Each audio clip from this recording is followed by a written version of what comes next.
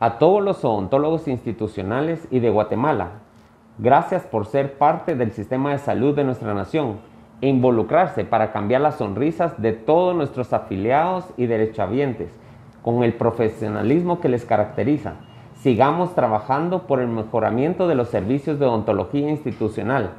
tanto en tratamientos, conocimiento y equipamiento de las clínicas dentales para brindar servicios de calidad enfocándonos en la prevención de las enfermedades bucales, dando prioridad al bienestar de la población guatemalteca. Se les invita cordialmente a participar al evento Tendencias Odonto 2022, donde estará el doctor Rafael Mexicano impartiendo el tema Odontología Digital el viernes 11 de febrero a partir de las 9 de la mañana el Instituto Guatemalteco de Seguridad Social les desea un feliz día del odontólogo a todos los colegas en su día.